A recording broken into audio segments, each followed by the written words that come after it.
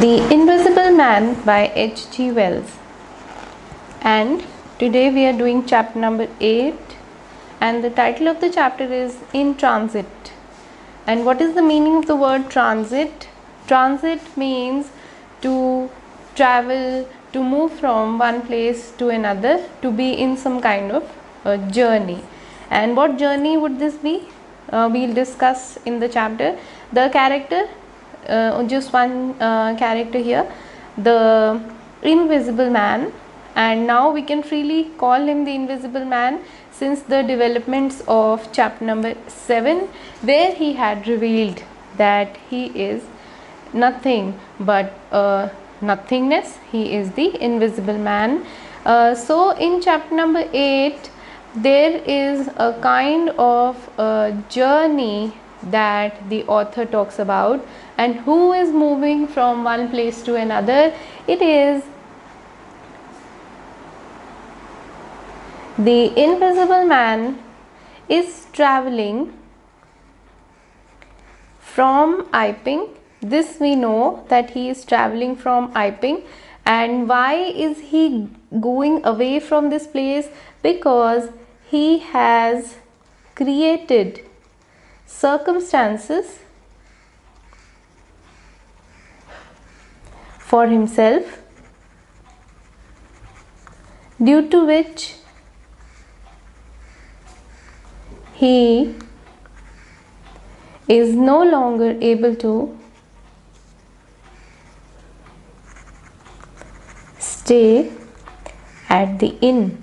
And these circumstances have revealed themselves in the previous chapter so uh, because of all that violence that he had shown the element of violence has been discussed in the previous chapter. All the violence that he has shown and revealing his identity of being invisible he is not welcome in the village. He is running away and uh, he is traveling away from Iping but where is he going? It is a big question mark. Uh, we do not know and in fact the truth is, the invisible man also does not know where he is going. So, he is just traveling, he is in transit, as the title of the chapter suggests, uh, and the facts about him he is invisible. So, even though he is traveling, nobody is able to see him. He is without any clothes. He is naked and that is why he is invisible. And he has a bad cold. We know this because he has been sneezing all the time. And in this chapter it's a very short chapter. It is just about his journey. Uh, the reader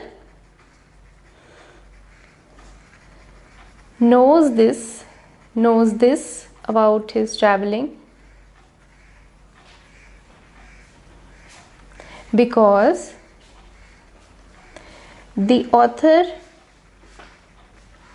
tells us, the author recounts how a man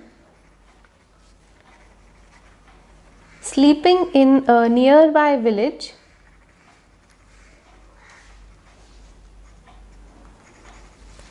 he's he's some man who is sleeping and uh, or maybe on a bench or on the roadside just cursory some man in some village.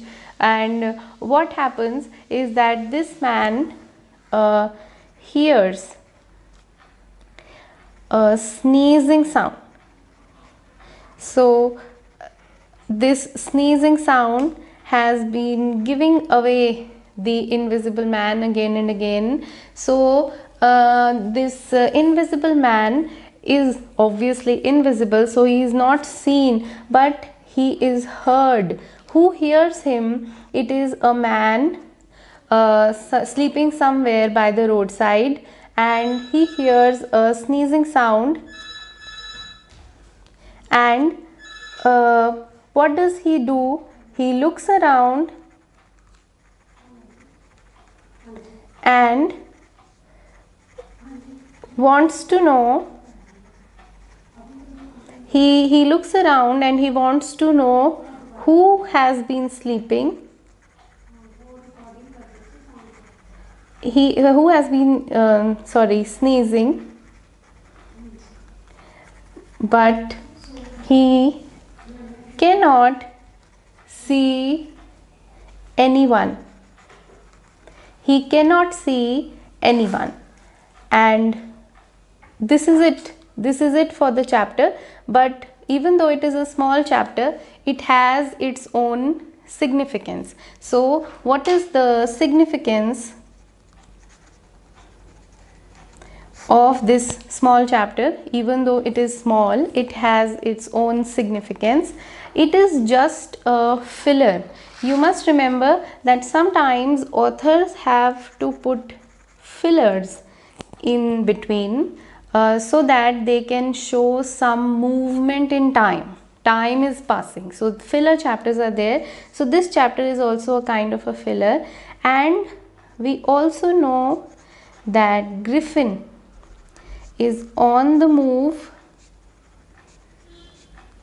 homeless without clothes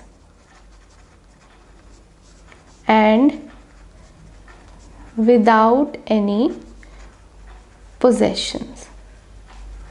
So you can understand how difficult a situation must be for this man uh, and who is responsible actually for whatever is happening to him. Nobody but he himself is responsible for what is happening to him and we will just do a brief review